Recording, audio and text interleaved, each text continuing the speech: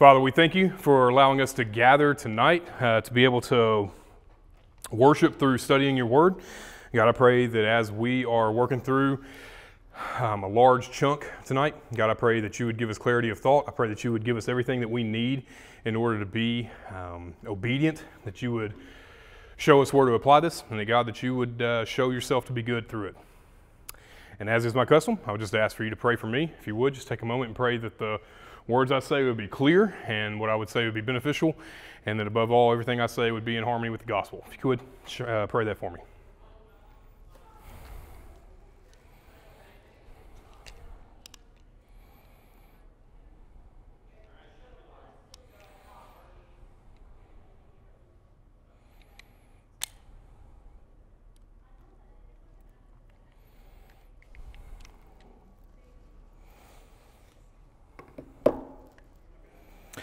Father, we thank you for being able to gather.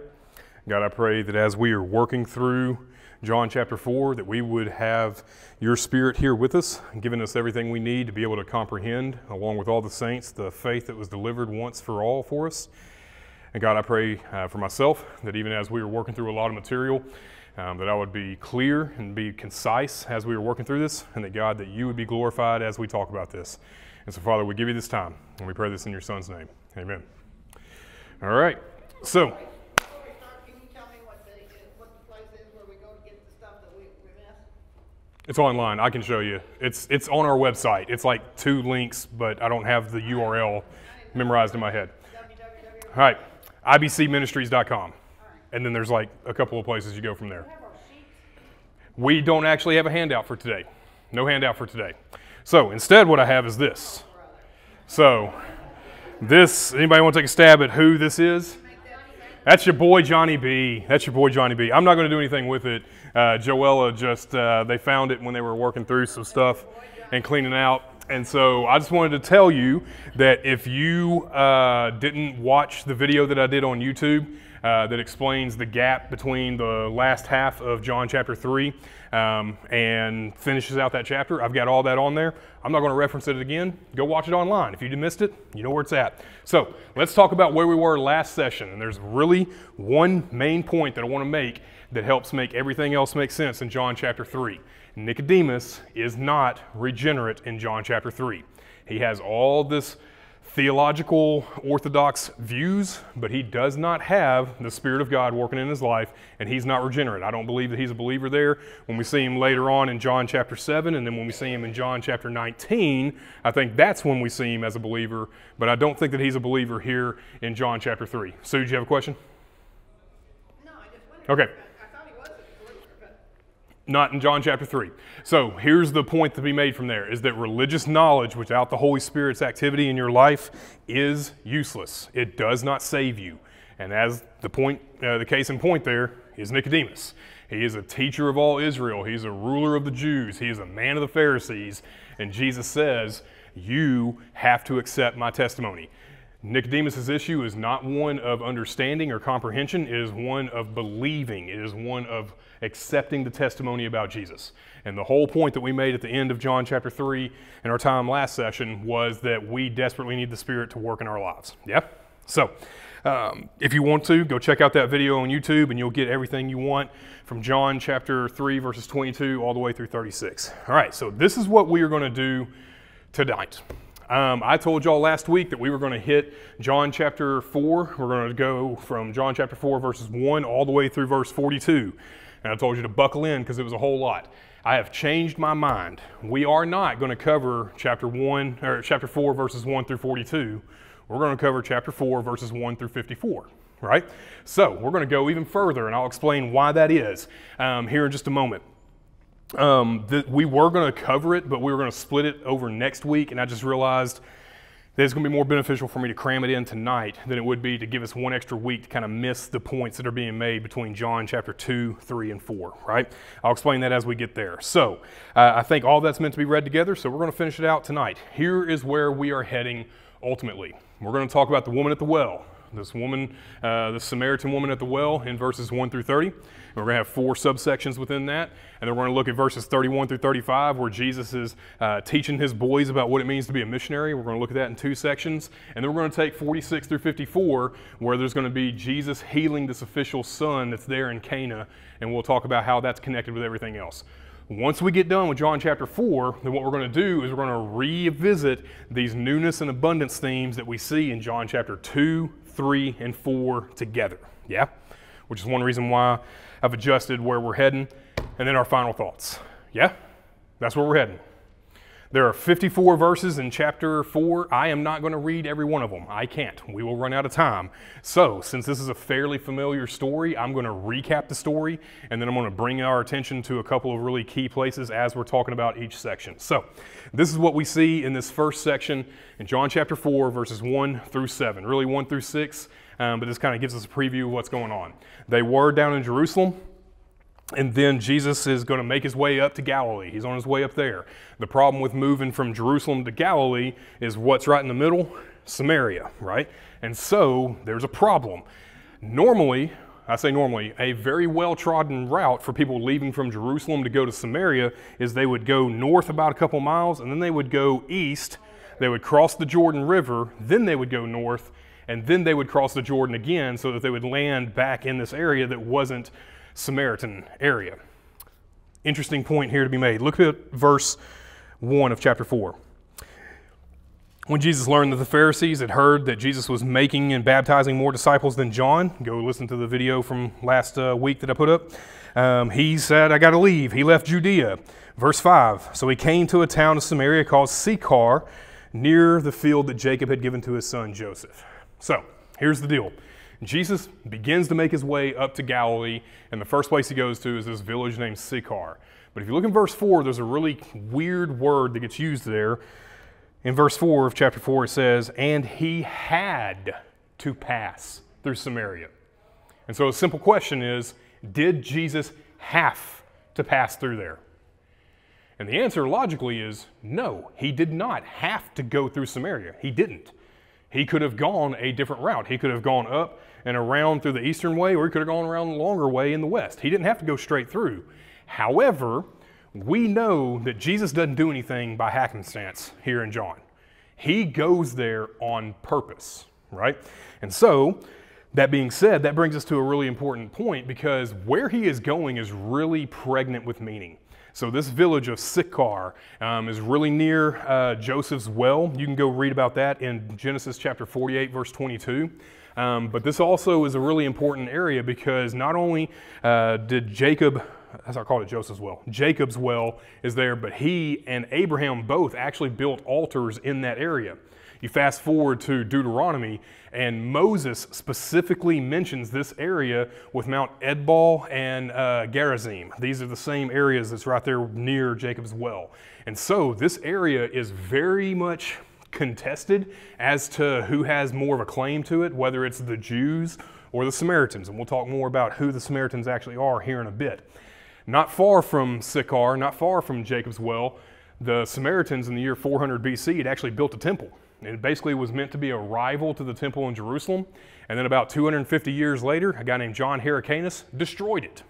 Okay? A Jewish uh, leader of the Hasmonean dynasty destroyed the temple. So here's the deal Jesus is going to this place that he must go. He had to go there, and it is full of all sorts of problems. In fact, there's all sorts of animosity and taboo at every point of this encounter. Okay, there's animosity between the Jews and the Samaritans. After the northern kingdom were absolutely destroyed by the Assyrians, the Assyrians essentially took anyone who had a good name and had any kind of value to them, and they either killed them or they drug them off and they just dispersed them everywhere. And now they had all this empty land, and so they started dragging in hundreds of just various ethnic groups and just sprinkling them all over the northern kingdom.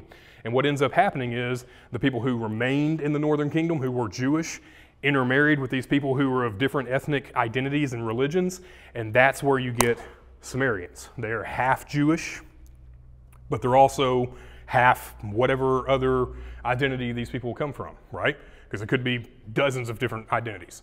And so there's this animosity, this temple that was built and then destroyed. That's a problem. Um, you can go read about all this animosity in 2 Kings chapter 17. You can go read about it in Ezra chapter 4 and Nehemiah chapter 4. The main people who are uh, opponents of the Jews in those cases are the Samaritans, right? So there's all sorts of animosities here. When you look in verse 7, this is where we see our story really start to pick up. So Jesus shows up to this well, and what does he see in verse 7? A woman from Samaria came to draw water, and Jesus said to her, Give me a drink. Now, this is where the taboos come in. What are some of the problems culturally with Jesus having this conversation with this woman? What do you know of that would have been culturally taboo for Jesus to be engaging in in this way? He's, he's talking with it's just a Samaritan. This is a Jewish man talking to a Samaritan woman. Like, that's a problem, right? Right out the gate, right? Number two. She said, why you speak to me? She even says, like, hey, man, what are you doing? Like, you're not supposed to do this, okay? So, what are some other taboos that Jesus is going to overcome here? She's a woman. She's unmarried, what we find out. Now, there's a little bit of complexity to that, but she is sitting there. She comes up to the well, and Jesus initiates a conversation. In fact, in uh, some rabbinic traditions, um, it was a fruitless endeavor for husbands to talk to their wives about religious things. It just that's just how they viewed it, right? And so here you have a rabbi talking to a presumably uneducated woman, right? Not only that, what else do we know about this woman and her lifestyle? She is saying, she came at noon, which is indicating what? She didn't want to come up with the rest of the women. And what we find out from the rest of the story is that she has got some baggage. She is a dirty sinner, right? And Jesus is not, right? So here's some of the things that I want us to see. Uh, D.A. Carson, I love this quote. This is what he says about overcoming these this animosity and these taboos. He says this Jesus was not a hostage of the sexism of his day. He was not a hostage of the sexism of his day. He had to go to Samaria. He must because he's going there for her. So let me give us a couple more parallels here, and this will give us one last big step before we look at the text more closely. I think we are supposed to read John chapter 3, and the main figure that Jesus is speaking with there is Nicodemus. And in John chapter 4, the main figure that Jesus is speaking to is this woman. We are meant to compare both of those people and draw some conclusions. So let's do some of that now. Number one, Nicodemus is named. We actually know his name. This woman, not so much. That's not me being derogatory. We don't know her name. It's never given. Not only that, Nicodemus is pretty well educated, right? He's a ruler of the Jews. This woman, presumably, is not educated at all. Nicodemus is respected and revered, and he has some clout. Homegirl's coming to the well in the middle of the day to avoid people. She's ostracized. Nicodemus is Jewish. She's Samaritan. He is a male. She is female. And when did Nicodemus come to Jesus? And when did Jesus encounter this woman? In the middle of the day. So, for all their differences, here is the one thing that I think we are to see above all else both of them desperately need Jesus. Now, with that framework, let's talk about the conversation that happens. Now, I'll be the first one to admit to you, it's kind of hard to read uh, this woman's tone whether she's being snippy or sarcastic, it just doesn't really come across. Um, I think she's probably more genuine than we give her credit for. However, she does try some, some things to get Jesus off of her case, right? It doesn't work, but I do think that she does do some of those things, but she is, um, I think, acting out in genuine interest in this conversation. So, When she told him he didn't even have the money. Yep, we'll talk about that for sure. So let's look at verses 7 through 15. And this is where Jesus is going to be talking about this living water. And so here's the story Jesus is here at this well. This woman comes up and he addresses her and says, Woman, give me a drink. And she replies with, uh, You're not even supposed to be talking to me, man. Like, that's not, this is not appropriate for us to be doing this. And then Jesus replies, If you really knew who you were talking to, you would ask me, not just for a drink, but you would ask me, and I would give you the free gift that would be living waters that would bubble up to eternal life. And then she responds, like, dude, you don't even have a bucket. How are you going to get this water? Like, well, come on, man, what's going on here? Here's the first thing I want us to see here. The fact that Jesus is talking with her is shocking. It's shocking.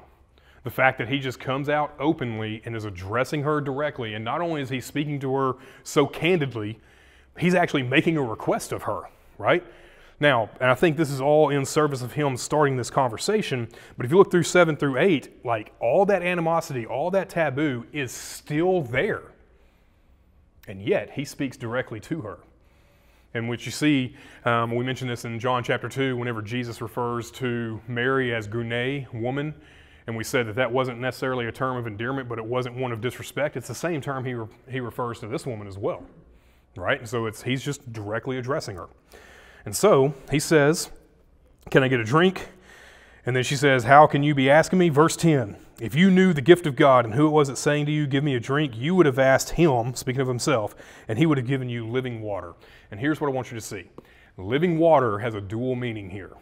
This is another reason why I think we should read John chapter 3 in Nicodemus and John chapter 4 with the Samaritan woman parallel. What was the phrase that had dual meaning with Nicodemus? What did Jesus say Nicodemus had to do? Had to be born again, which also means being born from above, right? Born spiritually, right? Here, we're talking about water that's sitting still down there at the well. Another way that you can describe living water is water that moves, just flowing water. That's all it is. So Jesus is saying one thing, living water, but he is piquing her interest by meaning two different things. One, we're about to get this water that's just hanging out down there at the bottom, sitting still. And what I'm going to do is I'm going to draw it up. Yeah, it's going to be that same water, but if you ask me, I can give you something that's going to be flowing, and it's the gift of God that leads to eternal life.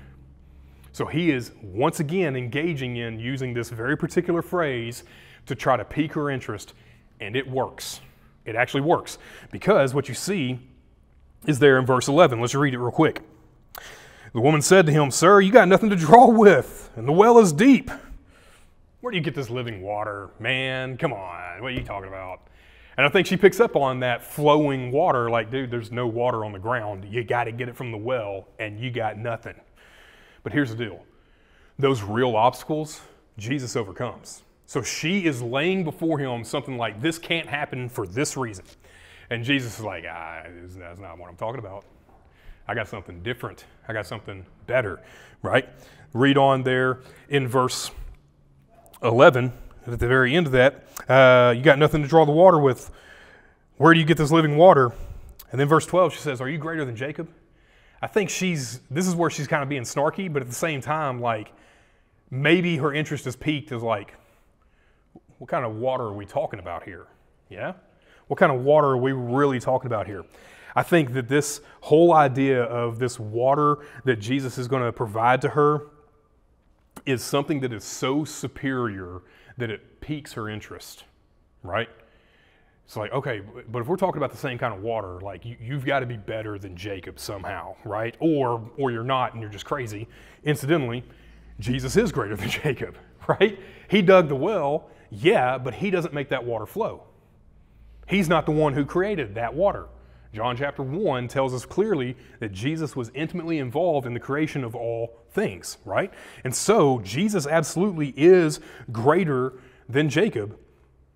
And the fact that Jesus is greater than Jacob, that means he's going to overcome any obstacle. And I think that when she's laying down, you can't do it for these reasons, I think this is a hint to us as the readers to say, oh, yeah, you can. And what we know from the rest of the story, because we've read it before, what's one of those obstacles that she's going to lay out? Well, we don't worship the same way. Yeah, I'm going to deal with that. Well, you know, the Christ will settle it all. Yeah, he's here and I'm settling it out. Right? What about her sin? What about her shame? She doesn't bring that up, but Jesus knows. And he's going to overcome that, and she'll have this living water. So, I think what the point here is that Jesus is offering to satisfy her eternally. right? He is offering to satisfy her eternally. He's greater than Jacob. Let's pick it up there in verse 13. Are you greater than Jacob? Yeah, is the answer. Verse 13 Everyone who drinks of the water here will be thirsty again. It does not matter how much water you drink at any one time. It does not matter how frequently you drink water or if you drink uh, an inordinate amount of water at any given interval, you will still need more water. What Jesus is saying is like, yeah, that water that's way down there, it's really deep. Get all you want, and you're going to need more. But what I'm going to give you, you only need it once, and you'll never need it again. And I think this is him pointing to I'm going to satisfy you not just with your real world issues. You're here to get water, like that's that's evident. We're going to need to talk about that. But at the same time, he says I'm going to give you something that will become a spring of water welling up to eternal life. And then I think this is where we have some genuine response. She actually wants that. She actually wants this satisfaction. Verse 15, sir, give me this water. She's got a bucket, get it yourself. If she understood what he was saying to mean living water is just, it's down there in the well, she could have just gotten it, right? She went every day. But she comes to Jesus and says, You give me what you're offering because I want it. Are you seeing how this is working out? So Jesus initially throws the bait out there about this living water. It's got two different meanings to kind of drive to this bigger point that he's wanting to make about how he's going to satisfy her every need eternally. And she bites. She takes the bait. And so now we're in a conversation, yeah? Questions about 7 through 15 right now? All right. So then what we have in verses 16 through 26 is where Jesus is going to talk about true worship. Sir, give me some of this water that you're talking about. And I think that this is her being genuine and saying, I, I want to know more of what you're talking about.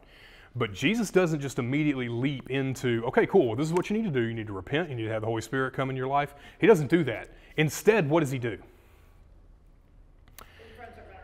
Hey, go get your husband. Go get your husband. And she's like, oh, I don't have one. He's like, yeah, I know. You've had five, and the dude you woke up next to this morning isn't your husband either, is he? Why did he do that?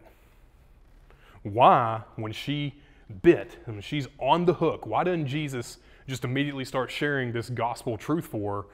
And my contention is, I think he needs to demonstrate to her that he knows what her deepest longing is and what she is looking for in satisfaction. He knows what it is, and he's highlighting that's not going to eternally satisfy what I give you will. And so he's got to put his finger in her chest and say, This is what you're seeking to satisfy, and it never does. He needs to demonstrate to her how big her need is. And not only that, he's demonstrating his omniscience. Go get your husband. I don't have one. Yeah, I know. You've had five for whatever reason, and the dude you woke up next to isn't your husband. He has no reason to know that unless he's divine. And what we said over and over with the Gospel of John is that every time that Jesus shows some kind of um, attribute of his divinity, whenever he is having these conversations, he is driving towards bringing them a point of making a decision. And here's the deal as he is demonstrating his omniscience, he is demonstrating that she is morally messy at best. Morally messy. She's looking for this physical satisfaction with the water, but what Jesus is saying is, I'm going to give you spiritual satisfaction, which is going to be much more than that. But here's the deal when it comes to her moral messiness, Jesus doesn't seem to be phased by it, does he? In fact, go back to John chapter 4, verse 4, and he had to go to Samaria because he had an appointment, it seems like. He was there for her. He's not dissuaded by the moral messiness, he's motivated by it, and he goes to her. I think there's some kind of lesson there for us as believers. I don't know what it is about us not being phased by people's sin. I, I don't know. Maybe y'all are smart enough to figure out what the, the point to be made there is, because I don't get it, right? He's not dissuaded by her moral mess, he enters into it. So, after confronting her about her lifestyle, what does she say in verse 19? Sir, I perceive you are a prophet. Let me ask you a question. Uh, our fathers worshipped on this mountain, but y'all say it's that one. Which one is it? And so what she does, she tries to distract Jesus, but what do we know about how this works out? Distracting Jesus never really works, right? Because he does like the, the mental judo to take her question and he flips it back on her and says, Yeah, you're worried about location, and that's not the issue. In fact, there's coming a day whenever the location doesn't matter. In fact, so much, the hour is coming. Let's pick it up there in verse 23. But the hour is coming, and what does your Bible say? The hour is coming, and it's now here. The hour is coming. Actually, matter of fact, let me, let me correct you on a fact. It's here now. It's now here because I'm talking with you and says the hour is coming and is now here when the true worshipers will worship the Father in spirit and truth. For the Father's looking for that kind of person to worship Him. Doesn't matter what, uh, what mountain you choose, that's not what it's about. And so, what Jesus says is, I'm the one who transforms what true worship looks like. Incidentally, don't you kind of hear echoes of that conversation with Nicodemus? You got to be born again, guy. How are we supposed to do that? Like, I thought you were a teacher of Israel. I thought you understood that this is the way this worked. And here, Jesus is plainly saying, I'm the one that transforms how we worship. The hour is coming, and it's here now because I'm here now. It's different now, in spirit and in truth. This is what I think about that. In spirit and truth is not in spirit, one idea, and in truth, a second idea. No, no, no. Those are one idea, one thing, in spirit and truth. Think of it as like one long compound idea. In spirit, because it is animated by the Holy Spirit, which is the singular thing that Nicodemus didn't have from John chapter 3, right? Our worship is transformed because our hearts have been transformed and it's in spirit and it's in truth because it is us genuinely worshiping a God who has saved us. Incidentally, I also think this is a bit of a dig right back at her. She says, Hey, settle a, settle a dispute for me about our worship. You Jews say it's over there, we Samaritans say it's over here. The way the Samaritans ended up with the form of worship that they had in Jesus' day, they basically took the first five books of the Bible, the Pentateuch, the Torah, and they basically took everything else out and said, This is all we need. And that's how they built their worship. And so I think this is a subtle way that Jesus is going, hey, you remember all those different ways where God revealed how we're supposed to worship him and what he was going to do with the Messiah and sending you or sending me to come? He's basically making a dig at her and saying, you're going to do it the right way. And, and I'm right here telling you how we're going to do it now. Yeah? True worship is transformed by Jesus. We worship in spirit and truth. And then the most miraculous thing in this whole conversation happens. Actually, there's one more thing. Verse 24. God is spirit. Why does Jesus throw that comment out there? Why does Jesus throw out there that God is spirit? And I think it's because you're asking a question about whether it's that mountain or this one. And what Jesus says is no, no, no, no. Like Jesus, or excuse me, the Father is not entombed in some body and therefore relegated to one place at one time. He's saying God's omniscient, or excuse me, omnipresent. He is everywhere at all times. So it doesn't matter as long as you're doing it in spirit and in truth. And so he throws out there, Our God is spirit, and those who worship him, they must worship him in spirit and in truth. And the woman said to him, Hey, I know that we're talking about some really heavy things. Some of this stuff is above me. But I know that when the Messiah comes, he's going to, he's going to teach all this, he's going to clear it all up. And what does Jesus say to her? I'm him. I'm clearing it up right now. We're talking about it right now. This is the way we do it. And this is incredibly fascinating because Jesus is, is revealing his identity as the Messiah to whom? This Samaritan chick who is morally messy, who's uneducated. Incidentally, I think one of the reasons for this is we, we see Jesus confirm his messiahship whenever he's on trial later in John chapter 18, 19. But this is the only other time that Jesus does that. And yet he does it to the Samaritan woman. And I think part of the reason for that is she is not wrapped up in the Jewish conception of what the Messiah is going to do. The Jews thought the Messiah is going to come, he's going to overthrow the Romans. He's going to set up this new kingdom, he's going to set up this eternal kingdom. Samaritans didn't think that. So now, since that's not an issue that he has to contend with over and over with with the Jews, he can clearly tell her, hey, I'm the Messiah. I'm here. I'm setting it straight right now, me and you. Spirit and truth, not there, not over here, in spirit and in truth. You've got to have God work in your life. Yeah? And what I think is going on there is that this is John's way of giving us a hint of God's global mission. Anthony preached on Sunday that God has a worldwide plan of salvation and evangelism for the rest of the world. It started with the Jews in John chapter 3 with this cat named Nicodemus. It goes to these half Jewish folks named the Samaritans in John chapter 4. And at the end of John chapter 4, my contention is there's a Gentile dude, a guy who is a bureaucrat who works for the oppressors, he works for the Romans. When you go look in Acts, you see the gospel taking root there in Jerusalem. Where's the next place it goes? Samaria. And after that, Peter has this run in with this cat named Cornelius, who is a centurion, right? Centurion? That's a Roman dude, army guy, the whole point here is that I think that when you look at John chapter 2, 3, and 4, you start seeing these hints of how Jesus is operating and he is working out God's global plan for salvation. And it's right here in the opening chapters of John. Yeah? All right. Questions about 16 through 26? Probably easier for Jesus to witness to her than it would have been a Jew. And Say again. It was easier for Jesus to witness to her than it was a again. Why would it have been easier for Jesus to witness to her than some old Jew? She, she wasn't, uh, she wasn't set in the Jewish way. Right, right. And so she is other specifically, but I do think that those animosities and taboos are still there. And we'll talk about that again here in just a little bit when we wrap up the rest of the story. But I think your point's well taken is that somebody has to go, right? And in this case, who's the one who's setting the example? Jesus is setting the example for all of us to follow, right? We'll run that to the ground here in just a bit. Let's look at verses 27 through 30. So, as soon as he tells her, hey, I am the Messiah, what happens? Verse 27, and then the disciples show up. right? And then they start thinking, like, what is going on? Like, why is Jesus talking to this chick? How long have they been talking? What is happening? And thank God they don't ever actually voice it because they don't show that same restraint later in the Gospel of John, but they just kind of internalize these questions, right? And so what we see is the disciples are marveling. Let me give you another word. They are shocked that Jesus is doing this.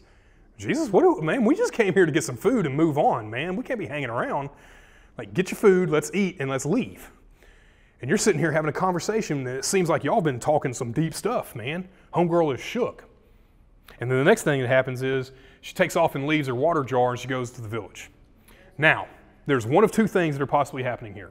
One, John, being an eyewitness here, records a detail that only an eyewitness would remember. Hey, by the way, man, I remember whenever homegirl left. You remember how she left her water jar? That was crazy. She just took off. And it's just a detail that he's adding in there. But what do we know about John? What do we know about John is that he sees deeper meaning in everything. So, what do you think that water jar is there for? Why does John record that for us? She's giving up on this water. She doesn't need it anymore. She's given up on it. She leaves this water jar, and I think just symbolically, that's her old lifestyle, right? She was trying to find this sense of satisfaction with these relationships with men, and it wasn't working. Hey, you guys, you've had five husbands, and the dude you woke up next to this morning isn't your husband either, and that's that's not going to satisfy. Hey, come get some of this water. Actually, you, you don't even need it. Just go on, take off. And she leaves her water jar there.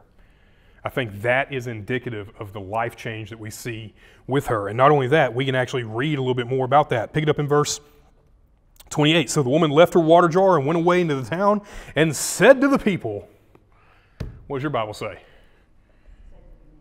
Huh? Said to them. What, is, what does she say to the people? Come see a man who told me everything I ever did. Come and see.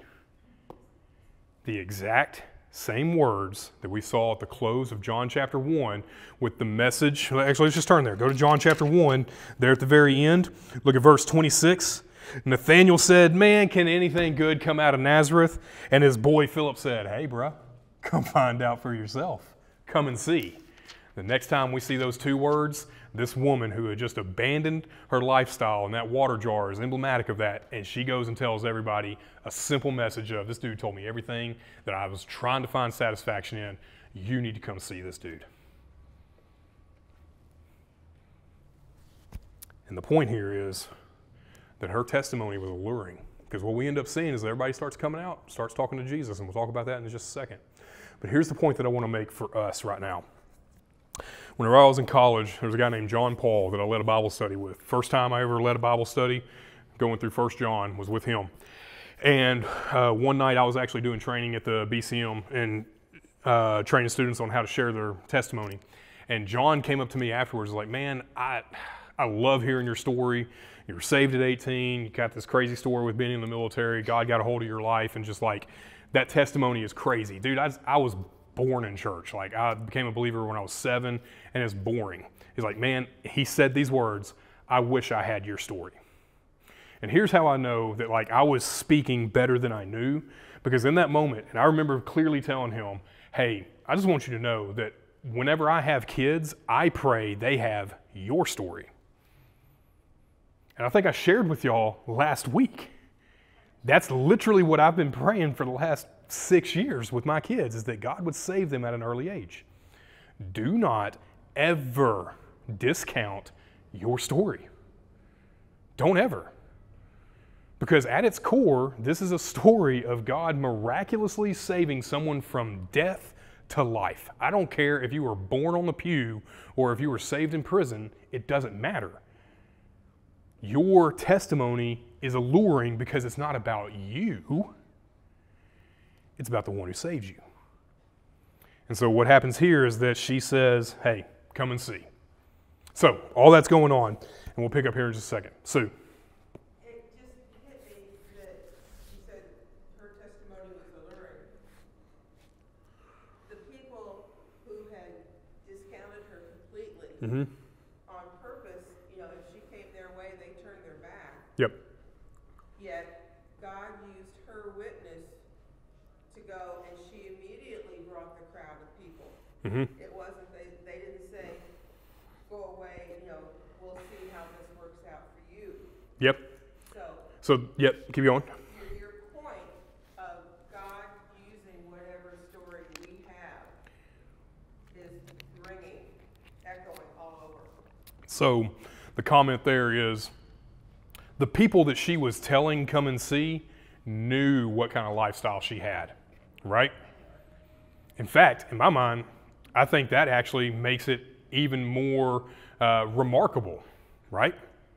They knew those taboos of like, oh, so a Jewish guy just started talking to you and like now things are changing?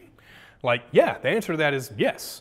And so the whole point there is that the story of Jesus saving and interacting with her and what change he brings about in her life, that is what is so important. Not that it's you, but it's your story about him. Yeah? When she got back to town, she said, could this be the Messiah? And I think that's her saying, like, hey guys, y'all got to come and find out for yourself. She knew. I, I think she knew, right? So, in between everyone coming from the town and talking to Jesus and her leaving to go get everybody, then we get this little scene with Jesus and the disciples. And this is how it goes down. Hey, Jesus, we went and got this food for you. You should probably eat it, right? Like, we, we need to, dude, we need, to, we need to leave. Like, get your food. Let's eat. Let's leave, okay? Like, uh, we've, we've done enough of this. I don't know what was going on with you and homegirl over there, but like, let's leave. And what does Jesus say? Actually, yeah, let's get that bread. Let's bring it out. Let's, let's spend some time here. In fact, he goes, guys, I got food y'all don't even know nothing about. And they are like, did this dude like go get some food? Like, what's he talking about? Like, did he bring some that we didn't know about? Why didn't he share it? Right? He completely sidesteps their misgivings as well. Pick it up there in verse 31. Meanwhile, the disciples were urging him to eat, saying, Rabbi, eat. But he said to them, I got food to eat that you don't know nothing about, and it's called doing my Father's will, right? So the disciples urge him to eat, and what Jesus returns back to them is, you need to be obedient. You need to do what it is that the Father's telling you to do. Um, this is one of those key themes that you see all over in John, is that Jesus is incredibly concerned with doing the will of the Father. I'm about to rattle off a whole list of verses. Don't try to write them down. You're not going to be able to. I've got it recorded. I'll come give you the notes up here afterwards. Check this out. John chapter 5, verse 30, 638, 826, 9 4, 1037 through 38, 1249 through 50, 1431, 1510, 17 and then 1930. The last words of Jesus and John are, It is finished. Tetelestai. He says, guys, like, yeah, I know we're hungry, but there's something more important going on here. And it's about being obedient to what God had me come here for. I had to come to Samaria. Y'all thought we just happened to show up here on accident? Jesus is urging them to do God's will because that's what he is doing. He's setting that example. It goes on there in verses 35 through 36. Say again. What does thirty-five mean? Don't you say there? We'll, we'll get there. So in verse 35, he uses a colloquial saying of like, yeah, man, the harvest is going to be here in four months. And the implication is, so don't rush things. Take your time. Four months from now, then we'll get to work. But what Jesus says in verse 34 and 35 is, Look, I tell you, lift up your eyes and see that the fields are white for harvest. Already the one who weeps is, or reaps is receiving its wages and gathering fruit for eternal life. He ain't talking about some field. He's talking about something more than that. So that the sower may rejoice, or and the reaper may rejoice together. Here's the point. What he's saying is that every one of us have a role to play. Whenever you go look in Matthew chapter 9, verse 37 and 38, and you've seen other references like this when Jesus is saying, hey man, the, the harvest field is ripe, it's ready. Pray to the Lord of the harvest to send laborers out there and let's get to work. Here's what I know about Jesus. Number one, he's not a liar. So when he says the harvest field is ready and that we need workers, we should be ready to work and go into the harvest field, period. That's all there is to it. He's not a liar. And so whenever he, references this colloquial saying of like, yeah, in four months we'll really get busy, he's saying, guys, y'all went to go get food and you thought that that was the break. I've been working this whole time. I've been working this whole time. And what y'all need to do is learn that whenever I'm needing to go away, y'all will do the work. Everyone has a part to play here. Um, yeah, that's all I'm going to say. Let's look at verse 37 and 38. Pray, he, or excuse me, for here the saying holds true one sows and another reaps. I sent you to reap that which you did not labor. Others have labored and you have entered into their labor. Here's his point. Guys, God's been working well before you ever showed up. He has been at work long before you ever showed up. We've all got a part to play, but you're not the one who's running this entire process to the ground, where you're the one who's tilling and planting and watering and reaping, and then later discipling, discipling and doing all this other stuff. His point is, God is the one who's been at work all along. In fact, go to John chapter 3, verse 37. 37? Nope. 27. That's a better one. John chapter 3, verse 27. This is your boy Johnny B. This will probably be one of the last times I actually reference him for a while. And John answered, speaking about his disciples, saying, Hey man, Jesus' disciples, they're baptizing more guys than we are. Like, what do you want us to do about that? And this is what John says. Your boy Johnny B answered, A person cannot receive even one thing unless it is given to him from heaven. And then he goes on to say, I got to decrease, he's got to increase. The whole point is, John was saying, I am only here because God has appointed for me to be here to do this work now. He has been at work long before us. He will be at work after us, most likely. But in the meantime, we must be the ones who do God's will. When it comes to the Great Commission, there's either adherence to or disobedience of. There is no third option, and you cannot make disciples if you're not being one yourself.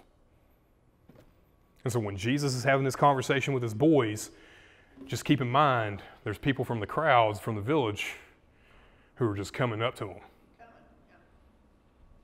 And so Jesus is saying, hey, y'all, y'all ready to get to work? Let's get to work. Let's pick it up there in verse 39. We're going to see this village is transformed. Everyone starts coming and talking to him.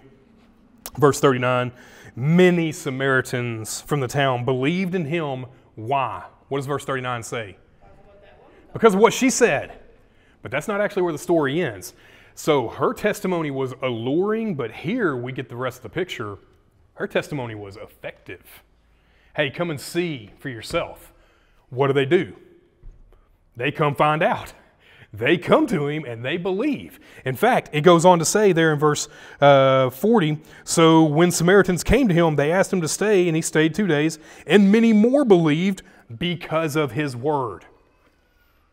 How long did Jesus stick around for? Two days. His boys are like, hey, get the food, let's eat, and leave. Jesus, please stay. Gotcha. Because Jesus is comfortable in the messiness. You do realize those animosities and taboos didn't just go away, they are still there. And now it's not one Jewish rabbi, it's this one Jewish rabbi and his ragtag group of dudes who are following him. And now they are having to engage with these people in mass. But Jesus is comfortable with it because that is what the Father has for him to do. So, what we see from there is that Jesus' word now becomes instrumental. He's sharing with them. I'm certain it's the content that we can extrapolate from John chapters 2, 3, and 4 about newness and abundance, and we'll talk about that here in a bit. But the whole point there is that after they are convinced of this, look in verse 42. They said to the woman, Hey man, you're crazy. You kind of got morally messy. This is wild. But they say to her, It's no longer because of what you said that we believe, for we have heard for ourselves. And what do they call him? The Savior of the world, because Jesus indeed is the Savior of the world. In fact, the only other time that phrase gets used in the New Testament is by John in 1 John chapter 4, verse 14, talking about God's global plan for salvation. And it's not on the lips of the Jews, it's on the lips of these Samaritans who have been convinced because of this woman's testimony, who Jesus told me everything I ever did he put his thumb right on the one thing I was trying to find satisfaction in, and he showed me it wasn't going to satisfy. And so I believed in him. You, you should come find out for yourself. Come and see. And what do they do? They come and see. And they call him the Savior of the world. Once again, that's Jesus and John hinting at this global plan of salvation. And then after two days, he heads up to Galilee, goes back to Cana. Yeah? So that completes, in many ways, or we'll hear in a moment, the Cana in John chapter 2, verses 1 through 12, with the water into wine, the wedding at Cana. He leaves, goes to Jerusalem, and now he comes back up to Sychar, and then he makes his way over back to Cana. And that's where we find the real bow on this whole story, is in the very last verses of this chapter, you see this Gentile official and his son being saved from death. And what I contend is this Gentile official and his entire household receive salvation. They head up to Galilee, verse 46. It came to Cana in Galilee, where he turned water into wine. Why do you think, why do you think John tells you that? Why do you think he reminds you of that? It's because he wants you to read John chapter 2, 3, and 4 together. These are important. I'm setting some paradigms. Pay attention. So he comes back to this place where he turned water at the wine, no, into wine, and there's a man who came to Jesus. And here's the deal. This dude's son was near death three different times. You can look there in verse 46, verse 47, and verse 49. Those three times, this dude's son is described as being on the verge of death. He is about to die. This father is out of options. He leaves Capernaum and goes, Capernaum? Is that right? Yeah, Capernaum. He leaves Capernaum and comes to uh, Cana because he hears there's a guy there who might be able to help, and he leaves to go get this dude to get him his son some help. And Jesus initially says no. Incidentally, it's the exact same method that he used back in John chapter 2, 1 through 12, with the water and the wine. Hey, servants, do whatever Jesus says. And Jesus is like, Woman, what does this have to do with me? He initially rebuffs, but then in his grace, he does what is being requested of him. And so, this official says, Jesus, you got to help. By the way, the word that gets used here for this Gentile, um, basilikos is the word. Basilikos. And that word comes from basileus, and which just means king. And so a basilikos was someone who was a nobleman, a courtier, or someone who was like a bureaucrat who worked for a king. There is no king in this area, but you know what there is? An emperor. This cat, most likely, is a, a bureaucrat for Rome. So he is a representative of the oppressors. And when Jesus hears this guy's uh, request, he saves him. He saves him. Nicodemus, he didn't get it. Woman at the well, she got it, and the whole village got it. This dude, he gets it. We went from the Jews to the Samaritans, and now what I contend is a Gentile. Maybe he's Roman, maybe he's something else, whatever. But he's a representative of the oppressors. And Jesus saves him. And then after some back and forth, the official figures out, hey, when exactly did all this go down? And his servants are like, oh, it was this time yesterday. And that was the moment Jesus said, hey, your son's healed, you can go home. And when he hears that, things change. Look with me there in verse 52, halfway through it. Yesterday at the seventh hour, the fever left him. Verse 53 The father knew that this was the hour when Jesus said to him, Your son will live. And he himself believed. And what else? His whole household. What's forty-eight mean? Unless you people see signs and wonders, you will not believe. I think this is Jesus, this is him rebuffing, saying, Look, you think I'm just a miracle worker and I'm just here to do party tricks? That's not what I'm here to do. And this guy keeps on. My son is about to die. This ain't about party tricks. This is my son. And then Jesus hears him and goes, He's good. He's saved. He's, he, he will live. And then this guy, when he gets home, he hears about this demonstration of Jesus' power and says, I, I believe. And not only him, but his whole household. And in fact, John helps us out in verse 54. Now, this is the second sign. And remember, those signs are meant to point towards something, and that pointing towards is faith in Christ. So, that's all of John chapter 4. I think it is meant to be read in conjunction with 2, 3, and 4 because there's some real paradigms that are being set. So, let's talk about some of those themes real quick. We talked about newness and abundance, and this is how John chapter 2 all the way through the end of John chapter 4 are meant to be read together. Let me give you a couple of these. In 2, 1 through 12, the water into wine, there's new wine, and that's emblematic of the coming messianic age and blessing and abundance, right? There has to be new wine. And then when Jesus clears out the temple, he says, I'm the temple. My body is the temple. Destroy this thing, and in three days I'll bring it back up, right? There's a new temple. And then he's talking to Nicodemus, and he says, You must be born from above. Got to have a new birth. And what we see from this woman, and with her leaving her water pot, I think that's emblematic of new life, Have you ever new lifestyle. song, You must be born again. Yeah, an old hymn. Not a real King Jesus by night. There you go. You know, I've played many times. And so that's the Samaritan woman in 1 through 30. And I didn't have a new on this one, so we're going with true. True nourishment. When he's talking to his boys and they're like, hey, eat some of this bread we got so we can leave. And Jesus is like, I've got food you don't know anything about, and it's called obedience. Newness, abundance, provision, this nourishment, this food that I have, you, you will learn. You'll get there. You're not there yet, but you'll get there. And I think this is why all of John 2, 3, and 4 need to be read together and kind of hold it all in our head, which is the reason why I didn't stop um, in covering the last you know, dozen verses or so in John chapter 4 because I needed us to see this. All right? So let's hit our final thoughts, and then we've got five minutes, six minutes or so for questions. Here we go.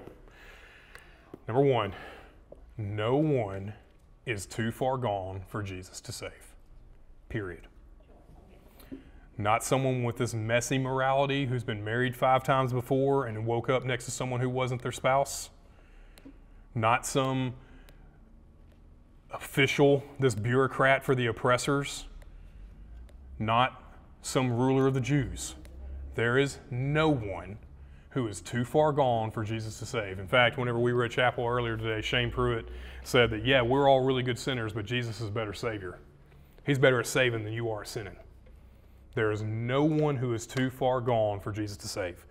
And number two, our worship is animated by the Spirit. When Jesus talks about that we will worship in spirit and in truth, these true worshipers, there is something about the way we worship that has nothing to do with our physical surroundings. It has nothing to do with that. It has everything to do with what has happened internally in us. That the Spirit has given us new life and that we are now being caused to worship in a new way, regardless of physical location. Right? So our worship must be animated by the Spirit. The woman at the well leaves her jar, her water jar, because she recognizes that lifestyle is not going to satisfy. And here's my point I think Jesus satisfies your greatest needs. not just eternally, but I think the thing that she was trying to fill in that need with relationships or whatever it may be, he put his thumb right on that issue and says, This has got to go. I can give you something better. I think Jesus will do the exact same thing for you if you let him. Evangelism is life giving for everyone involved. I think it's really clear for us to say, yes, whenever someone comes to faith and they trust in Christ, we celebrate that. We celebrate them whenever they get baptized, and that's all a good party.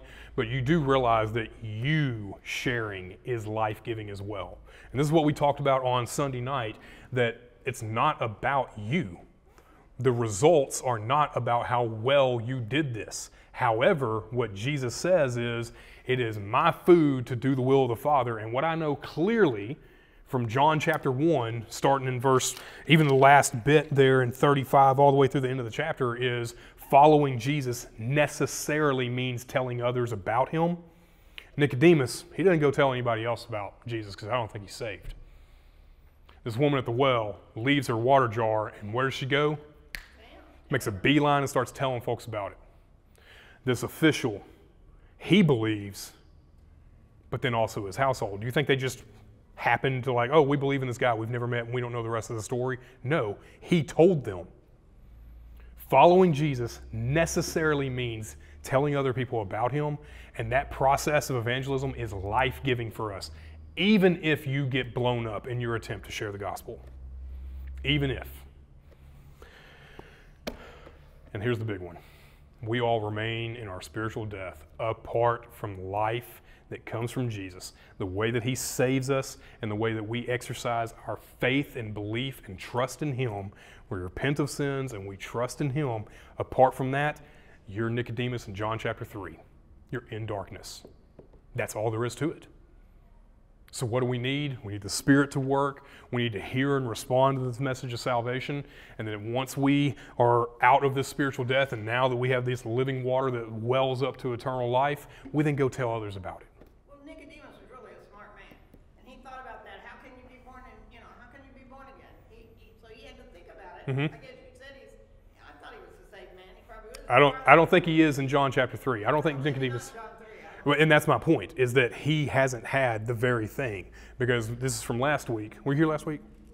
Okay, so from last week, go watch it, I'll talk all about it. But the whole point there is that the thing that Jesus puts his thumb on is saying, You have not been born again. You don't receive my testimony about who I am, and therefore you're lost as a goose. Yeah?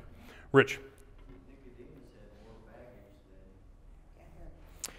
Nicodemus had more baggage than the woman at the well. Yeah. Yeah.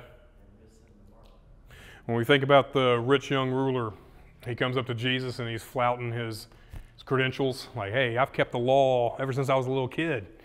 And what Jesus does is goes, hey, well, then go sell everything and come follow me. And the dude's like, oh, no, not going to do that. And Jesus' comment was, it's harder for a rich man to enter in the kingdom than it is for someone who's got nothing. And I think in a parallel way, somebody who has been been very clear that they have the right orthodox theology, but they don't have what actually matters. That's a big bridge. To ga- uh, that's a big gap to a bridge. It is, which is one reason why I think it is such an insipidous issue that we have people that are in churches and have been members for decades and are not regenerate. They think they're saved, and they're not because I've been doing Sunday school, I've been coming to church, I've served, I've done that. And the one question is well, do you have this saving faith that comes from trusting in Jesus? Well, I mean, but I show up every Sunday. That's not what I asked. No, right. So Where are we we'll, we'll handle John chapter 5. We'll recount that. So I still got a couple more minutes. Any other questions you got?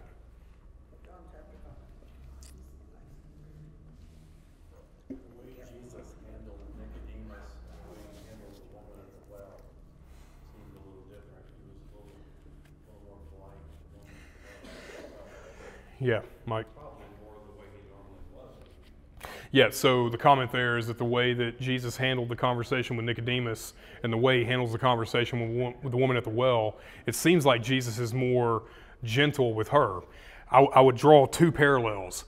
every time that Nicodemus responded or had some comment, Jesus actually went further. He had even more to say. You actually see the same thing happening here. So, in the same way, he actually does the exact same model. However, I- can't tell the text doesn't convey tone, whether she was being snarky, but when she says, Sir, give me this living water, I find that kind of hard not to read that she's being genuine. And whereas Nicodemus was being genuine in some of his questions, they also had this undertone of like, this can't be. Yeah, I, I, and that's exactly it. I don't believe you because literally that's what Jesus says is you don't accept our testimony. The testimony of me and the Father, we say you must be born again and you don't believe it. So then you got no shot. But for her, after he demonstrates his divinity, after he shows how much he knows about her, then I think she's like, oh, this is a different conversation. I think so. I think so. Other questions or comments? I think the progression of the disciples is really intriguing to me, Yeah? because you're right in that they're, they're so worried about all these other things. Making sure everybody's fed, making sure Jesus is, and, and really seeing that that doesn't matter. And then that's ultimately leading to when they take the reins, when Jesus dies, and they become the dudes, Yep. and you can see how much, uh, that they've learned in that time. Yep.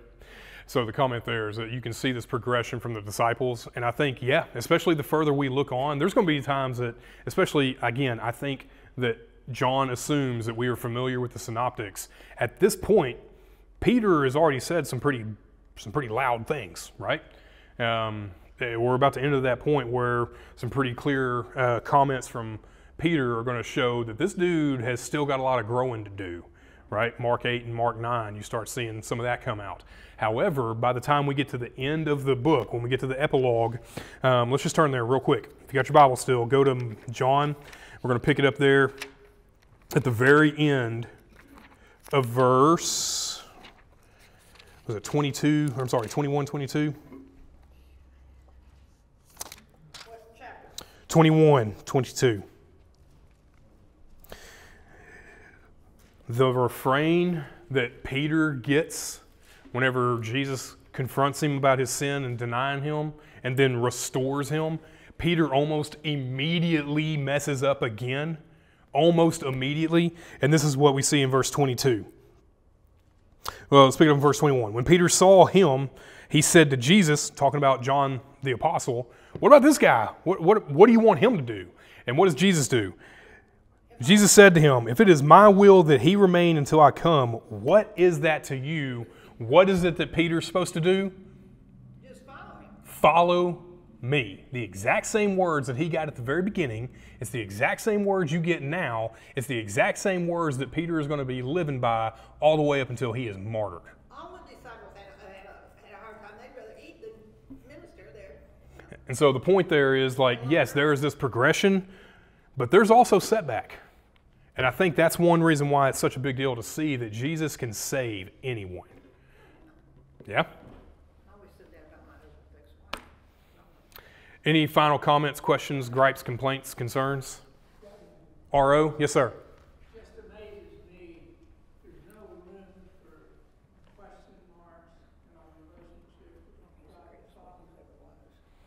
It has anything to do with someone else. hmm Yeah. Yeah. The questions that we have about our relationship with God and what He's doing with someone else, God's not concerned with. He's concerned with what, are, what have I told you to do? How have I equipped you? Go do it, right? That's what He's far more concerned with. Yeah? All right, let me pray for us. An hour and three minutes. Dang it. Joella, I told you not to let me go this long. I'll blame you on this one. Let me pray for us. Father, we thank you for what our brother John has written for our instruction. God, we thank you for what Jesus has accomplished for us on the cross. And Father, I just want to pray along with our brother Peter in 1 Peter chapter 1, verses 1 and 2. And God, that we thank you, the Father, for your foreknowledge. Holy Spirit, we thank you for sanctifying us in a way that only you can. And Jesus, we thank you for sprinkling us with your blood and calling us to obedience. Help us be obedient this next week. And we pray this in his name. Amen. If you wanted to come get some notes, I got them up here.